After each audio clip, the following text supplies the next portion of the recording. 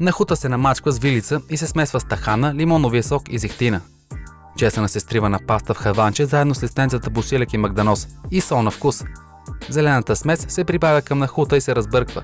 Багетата се реже на дълги парчета, които се разбъркват с меко масло и настърган пармезан.